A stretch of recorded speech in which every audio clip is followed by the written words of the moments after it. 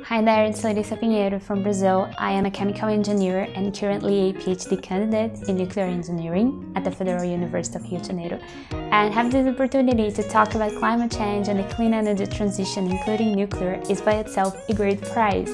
And FameLab Climate Change Communicators is also important for me to stop with the bullying, and I'm showing you why.